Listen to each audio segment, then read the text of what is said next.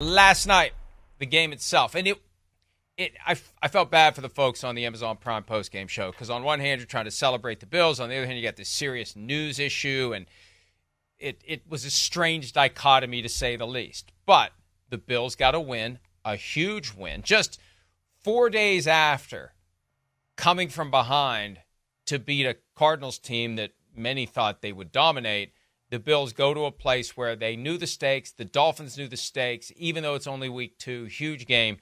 And the Bills were very opportunistic.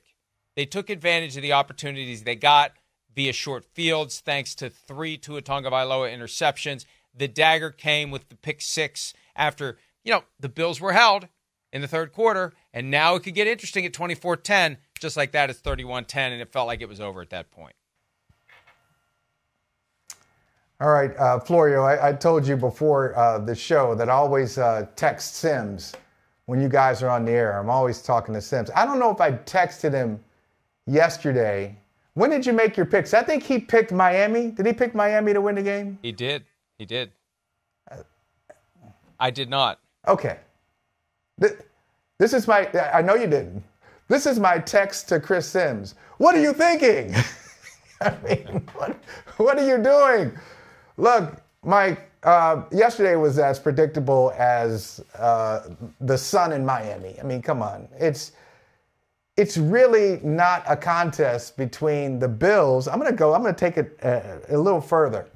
It's not a contest between the Bills and anybody else in the AFC East. I think they're clearly the class of the division. Now they've won 12 of their last 13 against Miami it's just a it's just a bad matchup for Miami, and I think they are physically overwhelmed by Buffalo most of the time. But I think uh, psychologically, you say it's only week two, but if you're Miami, this is a continuation. All those guys who have been there before, this is a continuation of previous beatdowns. The hands of the Buffalo Bills. They just know how to approach the Dolphins, whether the Dolphins are coached by Brian Flores or uh, Mike McDaniel. It doesn't matter. Um, it's a, it's, this is their division.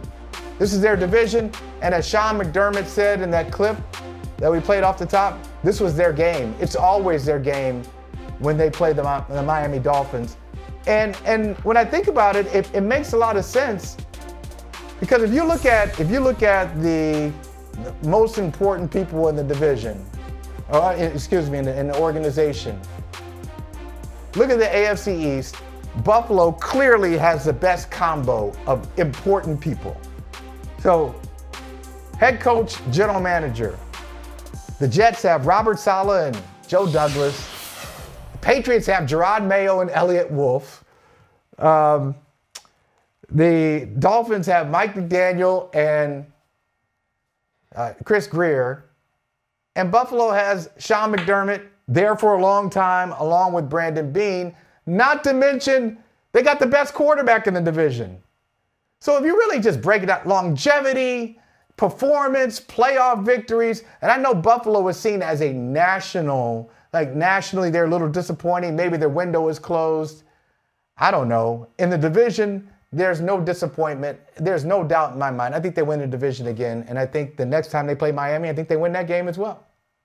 And, and Michael, I think the perception was the defense isn't as good as it needs to be. Well, it looks pretty good with a healthy Von Miller and Gregory Rousseau on the verge of becoming a superstar. And yeah, they had guys leave on the back end, but sometimes those guys leave because it's time and they move forward with guys that they know they can reload with. But the defense looks pretty good. And all the consternation about Stefon Diggs and Gabe Davis leaving, first of all, they were not throwing the ball to Stefon Diggs much at all down the stretch last year. This isn't like taking Randy Moss in his prime off of the Vikings.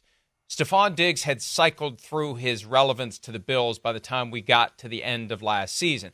Gabe Davis never lived up to the promise that we saw the night he scored four touchdowns against the Chiefs in that classic divisional round game. So, as long as you got Josh Allen, there are plenty of guys out there that can run routes, get open, and catch passes. There aren't many Josh Allens out there. And he had a throw last night. There's a holy crap. I mean, there's a thousand guys that can make that catch. There's one or two guys that can make that throw.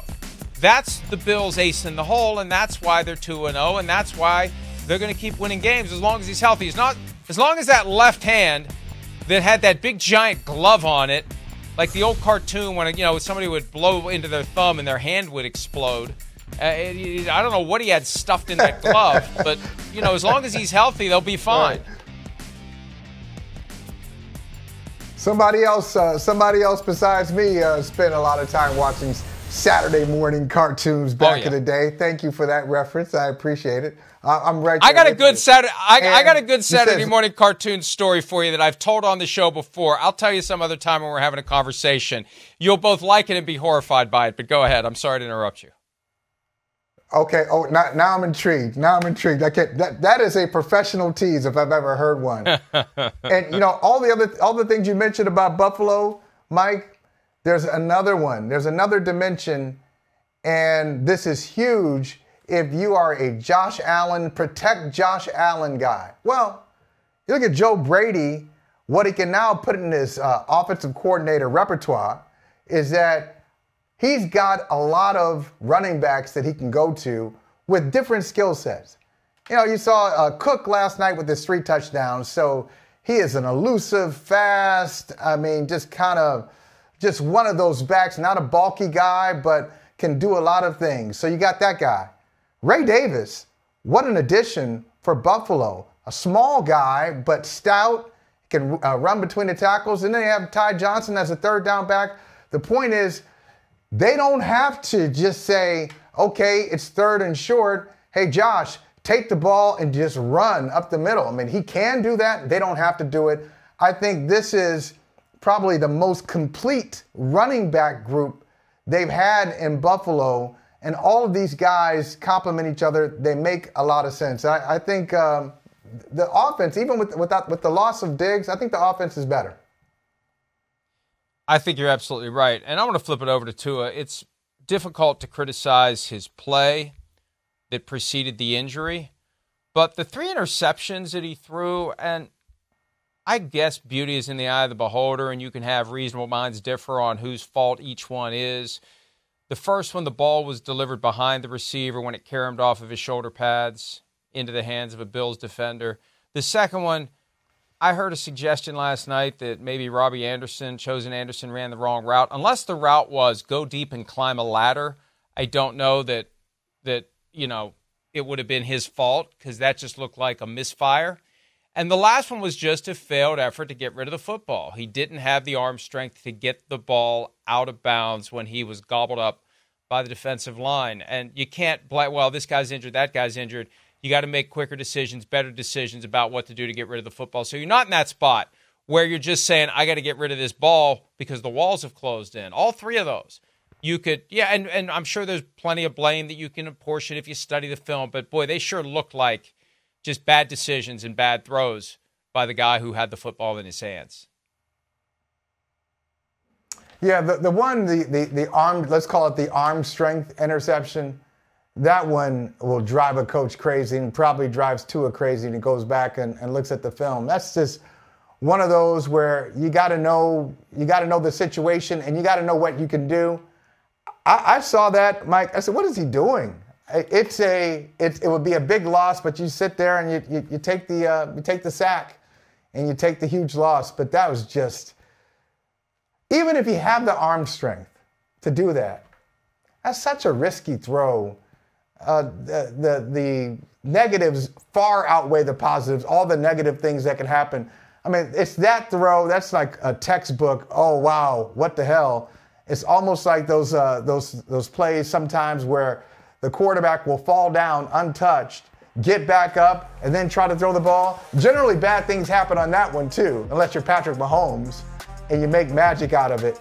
But generally, those plays, those plays are going to be exactly that either an almost interception or an interception.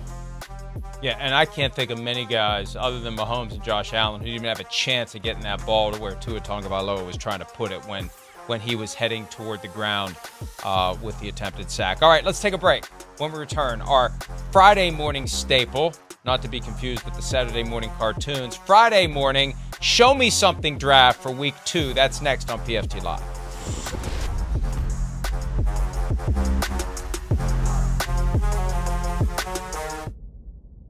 Hi, it's Mike Florio. Thanks for watching PFT on YouTube. Hit subscribe for the latest news and analysis from Pro Football Talk.